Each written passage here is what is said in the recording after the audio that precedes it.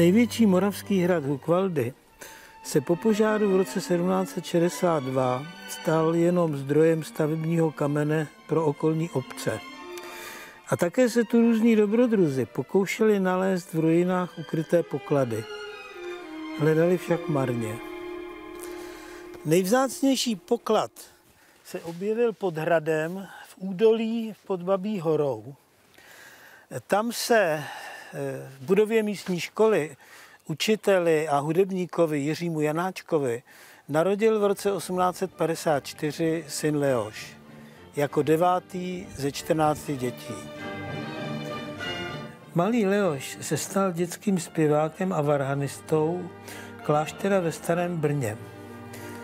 Poté tu absolvoval učitelský ústav, v Praze pak varhanickou školu a v Lipsku a ve Vídni konzervatoř.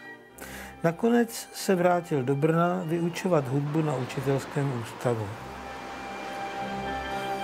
Již během studií napíše do Brna 172 naléhavých dopisů své 15-leté žačce Zdeňce Šulcové. A nakonec se s ní přes protesty jejich rodičů v roce 1881 ožení. O značném věkovém rozdílu vypovídá jedna příhoda. V Praze na svatební cestě Janáček spatřil z kočáru Antonína Dvořáka. Nechal zastavit, aby mu mladou manželku pyšně představil. Dvořák se decentně naklonil do kočáru a vykřikl. Proboha Janáček, co jste si to vzal za děcko? Po smrti otce zůstává v Hukvaldech jen jeho matka a sestra Josefka. Ostatní sourozenci se sem rádi vracejí. A nejčastěji Leoš, někdy sám, jindy s rodinou. Na této lavičce rád sedával, odpočíval a možná promýšlel i motivy svých budoucích hudebních děl. Je tu obklopen přáteli, místními hudebníky, rodáky i celebritami. Často sem zavítá i olomoucký arcibiskup. K programu stolní společnosti XY, jak si říkají, patří i zajímavé výlety do okolí či příjemná posezení v místních hostincích. Také v Brně Janáček patří k pozoruhodným osobnostem vždy dokonale oblečen v bílých ponožkách a bílé košily. Manžety se zlatými knoflíčky vyčuhují z dobře ušitého obleku, v ruce vycházková hůlka. Se stejně elegantní manželkou navštěvuje občas kavárnu Slávia, kde upíjejí víno či pivo a Janáček si tu výjimečně zapaluje i doutník.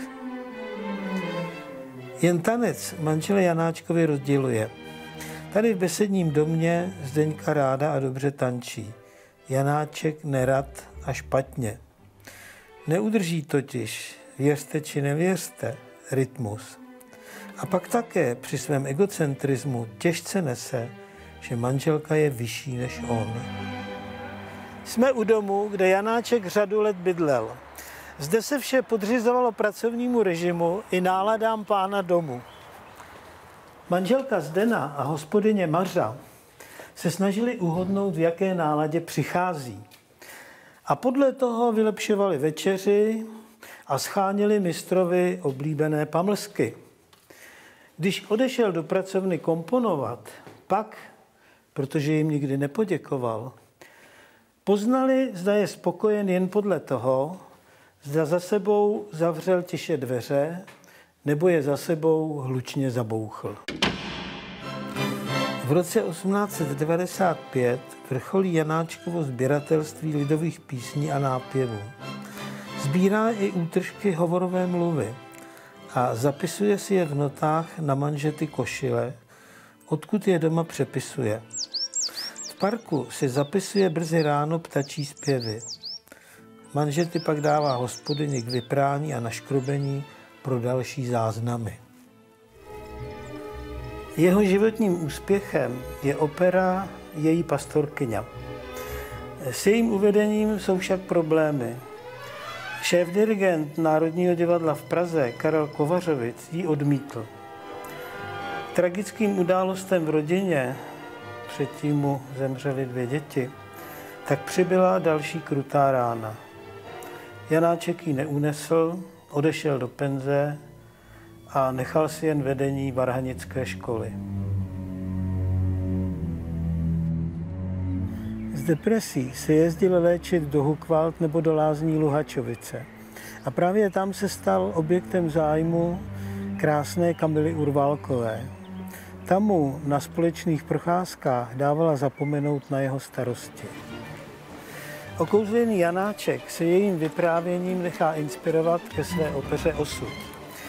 Ta se však dočká realizace teprve po více než 50 letech a navíc bez úspěchu. Samotnou milostnou romanci ukončuje nakonec Kamilin rozezlený manžel. Přesto Janáček na Kamilu i po 20 letech vzpomíná těmito slovy. Byla jedna z nejkrásnějších paní. Hlas její byl jako zvuk violi d'amour.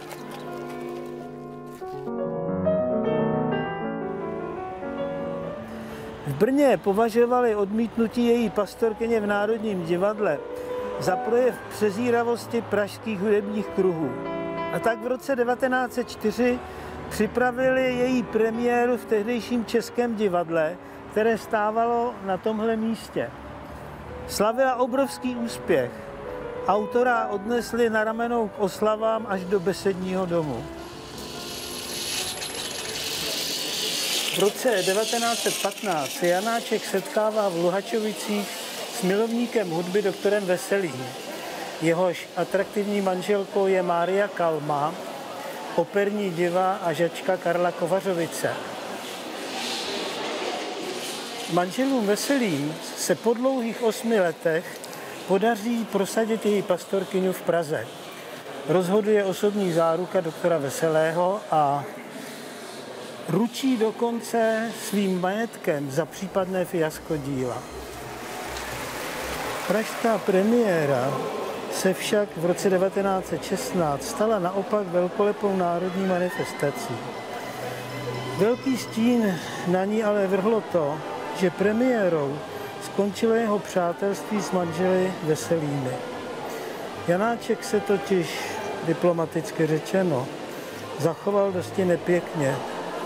Nejen, že Mária Kalma nezískala roli, což ona i její manžel za svou pomoc očekávali, ale přesto, že se za premiéru zaručili majetkem, nebyli na ní Janáčkem dokonce ani pozváni. Důvodem, proč Mária Kalma nebyla angažována, byl prý její slabý hlasový fond. Navíc je Janáček již během příprav vášnivě zamilován do operní pěvkyně Gabriely Horvátové. A není proto divu, když roli kostelničky dostává právě ona proslula mimo jiné milostnými skandály. Po úspěchu v Brně přichází stejně úspěšná Vídeň. Její pastorkyňa vstupuje na světové operní scény. Netrvá dlouho a Janáček objevuje v Luhačovicích novou můzu, Kamilu Šteslovou. Intenzita jeho vztahu k ní přechází brzy do typické janáčkovské posedlosti. Je tady volno? Mladá 25-letá manželka obchodníka se starožitnostmi a matka dvou malých synů Janáčka zcela očaruje. Je přitom prostota sama, uměním nedotčená a Janáčkovi vůbec nerozumí. Lichotí zájem slavného skladatele, ale z premiéry Káti Kabanové, které má být dokonce před obrazem, uteče už po prvním jednání. Janáček si ji pak dlouho udobřuje po představení hraním její oblíbené skladby na krásném modrém Dunaji. Jak pokořující pro umělce jeho formátu. Ale co všechno muži neudělají z lásky. Během jejich jedenáctileté známosti napíše Janáček Štoslové stovky velmi intimních dopisů. Otázkou je, zda byly jeho city opětovány. Dá se, že nikoli. Ale díky této lásce Janáček znovu začíná chrlit skvělá díla. Hudební kritici a vydavatelé dychtivě očekávají nové skladby a Janáček je nenechává čekat. A co nové dílo, to nová senzace.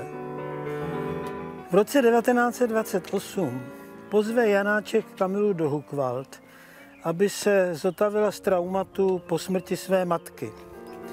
Ta přijíždí s manželem a synem Otou, Janáčkovým oblíbencem.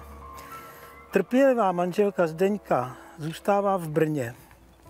O tom, co si myslí a co cítí, Janáčkovští badatelé neříkají nic. Po několika dnech Kamilin manžel odjíždí a zamilovaný Janáček chodí s ní a s jejím synem po procházkách a výletech. Jeden z výletů se stane osudným. Janáček se chce pochlubit svou bystou ve Štramberku, ale podcení délku cesty i strmost kopce. Užene se, jak se říká, a zcela vyčerpán ulehne. Po několika dnech je se zápalem plic převezen z Hukvald do Kleinova sanatoria v Ostravě. Kamila Šteslová posílá paní Janáčkové telegram o manželově kritickém stavu. Když ale Zdeňka přijíždí do nemocnice, je Janáček už mrtev. Slabé srdce rodinné zatížení Janáčků nevydrželo. Srdce tak silné pro velké lásky a pro velká vzepětí k vrcholům hudební tvorby. Mýtus Janáčka jako zajatce sexu je zřejmě pouhým mýtem. Z dopisů i s tím, jak končily jeho vztahy, lze soudit, že jeho lásky a vzplanutí byly spíše potřebou milovat a být milován, která ho provázela po celý život a byla nepostradatelnou podmínkou jeho tvůrčí inspirace. Já skládám 20 až 30 let před svou dobu, říkával. Mýlil se. Svou dobu jako skladatel předběhl o mnoho víc.